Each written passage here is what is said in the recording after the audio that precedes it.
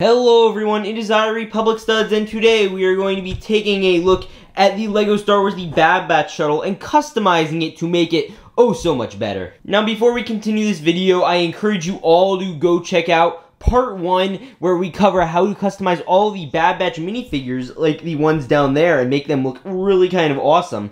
And also while you're at it, remember to hit the subscribe bell. I would really appreciate it. It would just mean the world to me. We're gunning for 25,000 subscribers, so obviously every sub would be appreciated. But with that said, we're going to get right on into it. Now, obviously, these fixes are going to be more structural, so I am going to move those figures away. And I actually want to start with Crosshair Speeder. Now, you guys know I absolutely hate stud shooters. I actually ran a whole campaign to get rid of them. Uh, so we are going to be getting rid of those in this particular build. So first off, you obviously need to remove the stud blaster here. Uh, and then the next step that you are going to want to do is fill in this piece that you took off right here with a nice little black piece and you just fit that right there. And then after that, all you have to do is put in this nice little blaster now, this is a design, I believe, from Sanders 3 Studios, uh, but it is quite an easy and simple fix. Obviously, you know, stud shooters are not the best looking things in the world, so I think this is a really simple solution to that problem, and then it really gives a nice little look. Obviously, you know, a, a, little bit of a different thing. I guess you could do this with the 501st Speeder too. It's the same exact speeder. And you have these extra stud shooters. But yeah, I feel like it really adds a value to this type of build, and then plus on top of that, you could put your crosshair, your customized crosshair with all his Firestar toy arm printing on the speeder bike, and he could zoom off, obviously. Very epic. Now let's get into the next design. Now this next one is a super simple fix that I recommend everyone do. Uh, now, this was an idea from not Sam Smith, so I'll credit him in the comments down below, or in the description down below. Uh, but for those who know, the biggest gripe that nearly everyone has with this set is picking it up. You cannot pick it up by the fin, which is just stupid. Uh, and that is because of these two bricks right here. See these two tiles? That is solely because of them. So what you're going to want to do is first remove these tiles, like so. And then you're just going to want to find any, like I put, I just put gray down, but you I find the bluish color. And you really, any color, I think this works fine because it kind of matches with this whole scheme. And then all you have to do is just push it down. And like so, you could pick it up.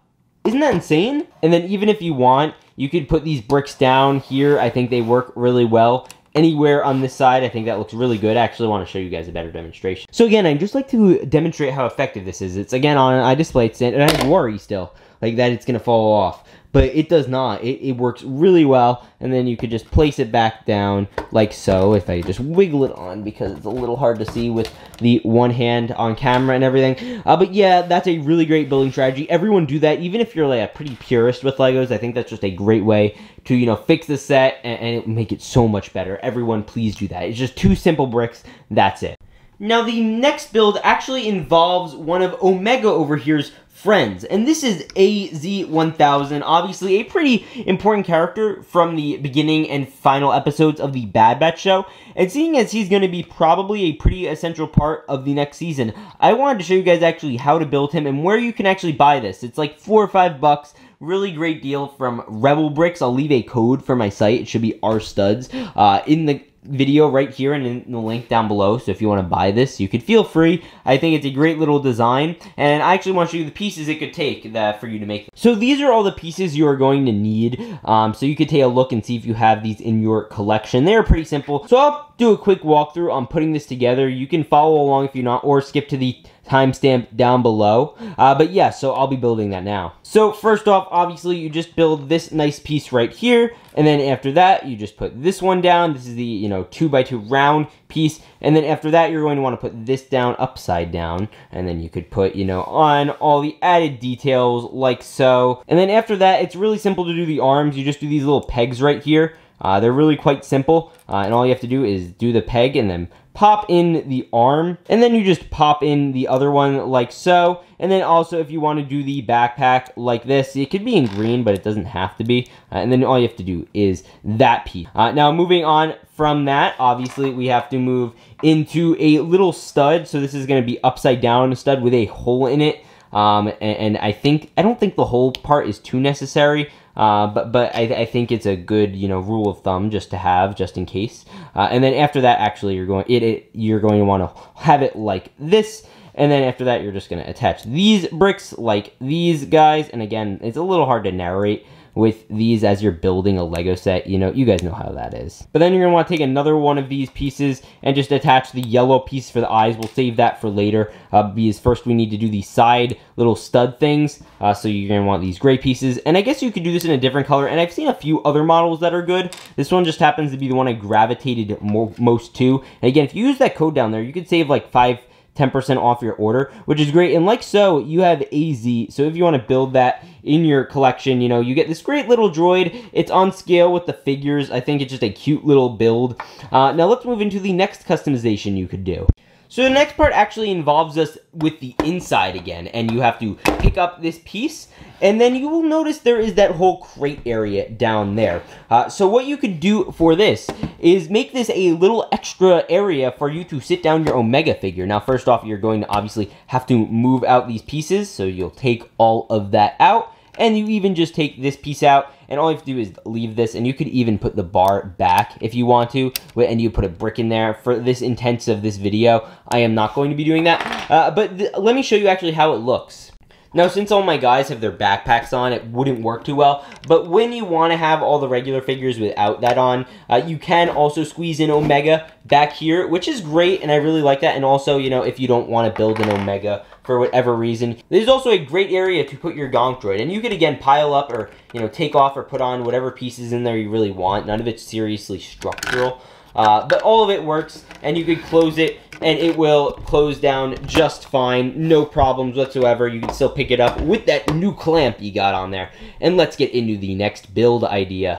Now, here's actually another tip from Sanders 3 Studios, uh, and this is in regards to the blasters back here. Now, you will notice that in the show, the blasters uh, go alongside the, you know, blaster, you know, shooting area up here. Uh, but for some dumb reason, they are all the way down here. Now, I'm going to be showing you how to fix this. And again, huge thank you to him. I'll credit him in the description. Now let's show you how to do that. Now first off, you want to take off this sticker sheet and with all these little things, namely so that way you could lift up the top half of the fin. So next up, you obviously have to take out the stud blasters that are resembling the little turret, and all you have to do is just take that piece that they were attached to, put that back in, and you can also add this piece right here.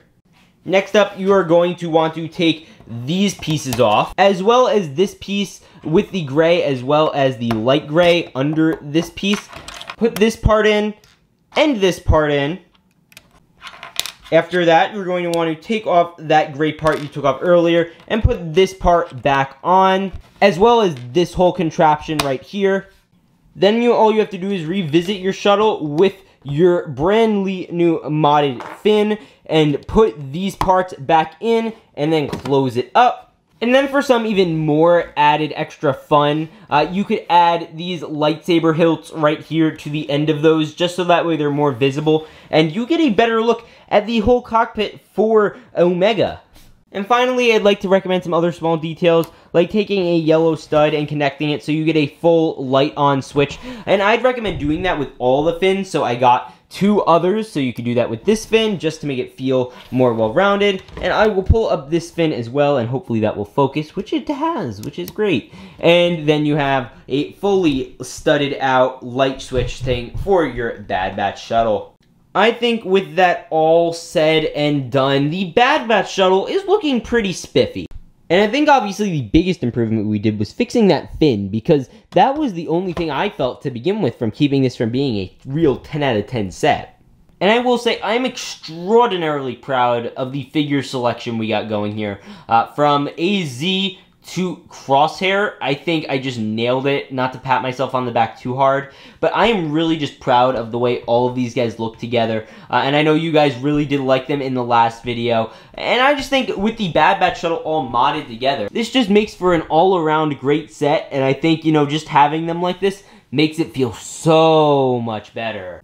But with that said, I hope you guys all enjoyed. Please remember to like, subscribe, hit the bell, do all the other things. Also, check out all the people in the description who designed these things. I am not a creative person, so I could not come up with most of this, but I do want to credit where credit is due. And also thank you to Rebel Bricks for the beautiful little AZ build. So with that said, I'll see you guys later. Remember, peace out and stay awesome.